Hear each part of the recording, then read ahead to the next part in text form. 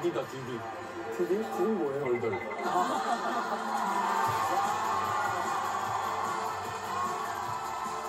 야 진짜 멋있다. 애는 진짜 멋있다. 오, 나 다시 빠졌네. 형, 무대, 뭐 축하 공연을 했어요? 어, 축하 공연을 했어요.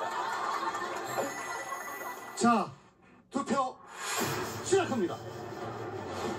박영광 1번, 에녹 2번. 연예인 평가단 각 30점씩, 국민 평가단 각 1점씩, 총 500점 드렸습니다.